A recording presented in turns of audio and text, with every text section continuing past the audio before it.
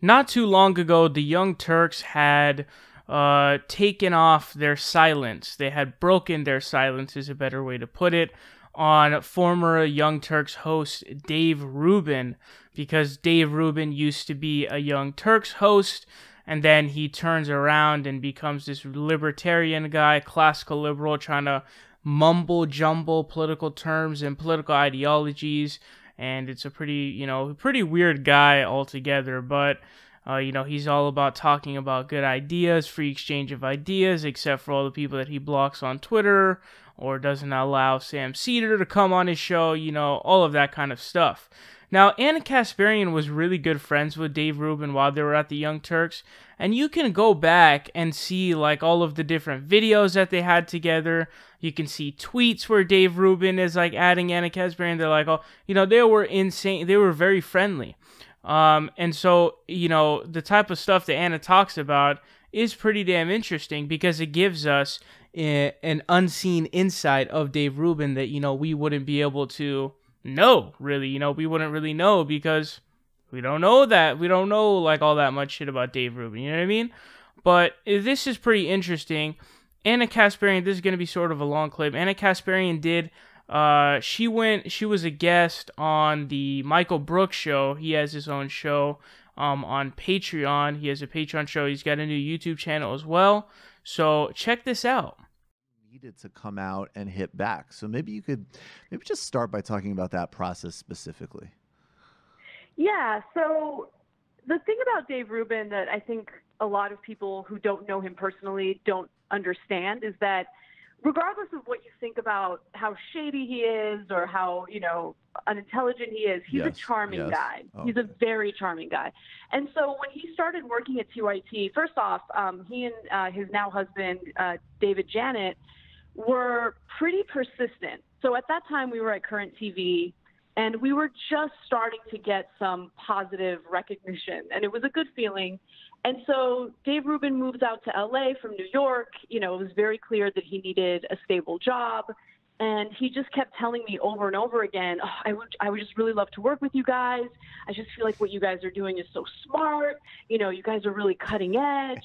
I, I love the ideology. I love the fearness. Like, uh, it, it was just one compliment after the other. And I got to be honest, I, I was an idiot at that moment because I believed him and I genuinely thought, like, this is a good dude and I, I want to be close to him. You know, like mm-hmm. he would invite me to dinner all the time and I would go as often as I could. And we really did develop what I thought was a genuine friendship. And I remember one year, um, you know, I threw a little birthday party for him and I introduced him to all my friends. And I'm not making this stuff up. Like, if you go to my personal YouTube channel, there's literally a video there where we're celebrating the holidays together with my close friends. Um, so anyway, he always had. So he starts working with us, mm-hmm. and I noticed that like every conversation we had was about pay.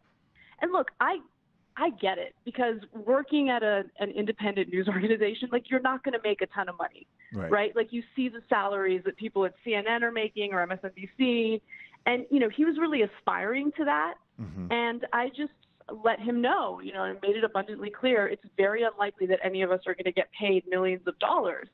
And he was doing this 30 minute a week show, which I thought was fine. It didn't seem to me that he really cared too much about politics. Right. Um, the person behind that show who really made it happen was his husband, who like I love that guy. I mean, I haven't talked to him. I'm sure he doesn't have great thoughts about me, but he was a very hard worker. He was very smart and he was just super ambitious. And so he would put together these 30 minute shows for Dave Rubin, and then he would have all these notes uh, on a one sheet for him. And then he would come in, literally do a 30 minute show. It was a panel show. So, I mean, you just ask a few questions in that, you know, format. Right. And then he would get upset that, that Cenk wasn't paying him, you know, at least 150 grand for that once a week 30 minute show. Now, if you think you can make money somewhere else, do you? Like, I didn't have a problem with him leaving. And when he left, we were all on really good terms. We were still good friends. Right. You know, uh, had like a sending off video with Dave Rubin, and they're very friendly with one another because, again, they were on very good terms. And then out of nowhere, he goes on um, Rogan's program and he just starts shitting on us. Mm-hmm. And I had no idea why. And it was, it was really hurtful. So I, I messaged him. I sent him a text message. And I was like, Dave, what's going on? And he's like, no, no, no, I'm not attacking you. I'm attacking Cenk. And I was like, but first of all, you're attacking the Young Turks. I'm the like one of the main hosts of the Young Turks. I think even Like, people that know nothing about the Young Turks would say, like, or very little would say Cenk and then Ana. Like, you are the definitely one of the two most identifiable people with that brand.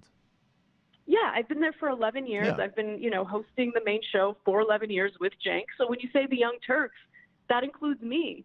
So, and, and even if he was just attacking Cenk, it didn't make any sense. Cenk bent over backwards for that guy. Right. So let me give you an example. When he left, Dave Rubin wanted 100% ownership of his YouTube channel. Now, mind you, it was TYT's producers, TYT's editors, TYT's studio. Like that content, legally speaking, easily belonged to TYT. But Right. Was like, you know what? I, no, I'm not going to be a dick. I'm going to let him keep 100% ownership of his channel, and any revenue that he earns, he can keep it. Like we're not going to try to, you know, take a cut or a percentage of that. And I thought that was really big of Cenk. And there were also numerous occasions where he said something stupid on the main show while he was a panelist, and then later would run to Cenk and beg Cenk to cut that out of the video. And Cenk would do it because he didn't want Dave Rubin to be harassed by audience members or whatever it is. And so it's just amazing to me that Cenk bent over backwards for this guy over and over again. And then he turned around and just started trashing us. Do you think so? I mean, because that's an interesting. Like, there's this bigger ecosystem that he fits into, and he just kind of, you know, he's like the easiest interview on the planet for any type of mm-hmm. right wing, rebranded, old ideas, repackaged as. I mean, it is pretty funny that they call it the intellectual dark web, right? Like, let's let's literally self-identify as like the secret part of the internet where you buy organs and child porn. Yeah, I mean, I think that branding wise, that was probably a bad idea. and I get where they were trying to come from. You know, Right. we're hip, we're we're edgy, we're like we're very naughty for having these beliefs. But the re- the fact of the matter is, I mean, look, I think that Dave Rubin shouldn't be in the same group as these guys because even if you disagree with what you know, you know, Peterson has to say or Harris has to say, I don't deny that they're smart guys. Like I disagree with them vehemently on on some things. Um, Peterson more than Harris, but I I think that they're at least intellectual. Yeah, so after listening to that and also knowing what Kyle Kulinski said about saying how Dave Rubin had told, you know, he, he Kyle Kulinski essentially dubbed Dave Rubin a careerist, basically meaning he was just gonna he sort of it's not really that he gives a fuck much about politics, but rather I want to get the most money, the most fame, and just the most perspective when it comes to money, fame, etc., etc. And so it wasn't really anything about politics. He didn't really care about the policies or political positions or principle because Dave Rubin has no principles. And so I think, you know, corroborating that with Ana's, you know, in depth story that she talks about how, you know, Dave Rubin wanted this massive pay for a 30 minute a week show. Um, and people are acting like, oh, like, well, then it was good for him to change. And it's like, then you're not talking about principles anymore. That was, of course, Dave Rubin supporters. But uh, then you don't have any principles and it has nothing to do with politics. You simply got in it for the money, which is pretty fucking unethical because essentially what you're saying is, I don't really give a fuck about what I'm talking about. I'm not being an honest actor. I'm just lying. Uh, I also did a segment where, because um, uh, Vadim Nuka sent me a clip, you know, he sent me a clip of Dave Rubin back uh, when he was a host of the Young Turks saying, well, when has self regulation ever worked? Doesn't it fail, you know, on, on its face every time? And so, and then, you know, you have him going on Joe Rogan saying, intellectually, I like that, you know, I like that uh, idea, which is, you know, is pretty funny. But the point here being is that it's very clear, and this is because this is a question that I've had.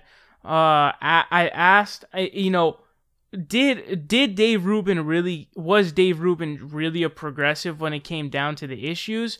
Because I personally personally I think no he wasn't. I don't think he was.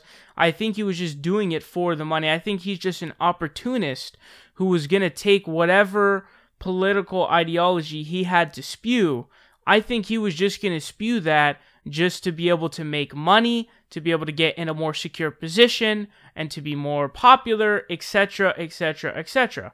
And so I don't think that Dave Rubin actually changes ideas organically, as in like he was legitimately a progressive and then switched his positions over to the right and everything else just kind of followed through. No, I don't I don't buy that. I don't believe that. I don't agree with that. I think that that is just completely wrong. What I think is He's an opportunist. He saw an opportunity of, hey, whoa, look at all this Patreon, all these Patreon dollars, all this Koch money that I could get, insane amounts of, you know, popularity that I can get as of right now if I switch to right wing ideology. And so that's what he did. He never really was a progressive, truly. He didn't really have any principles. He was just saying what he could say to be able to get himself a position. That was what it was, and money. And that's what I think. And I, I think that what Ana Ana says and corroborating that with what Kyle says, you know, I think that it's just it's pretty much indisputable at this point.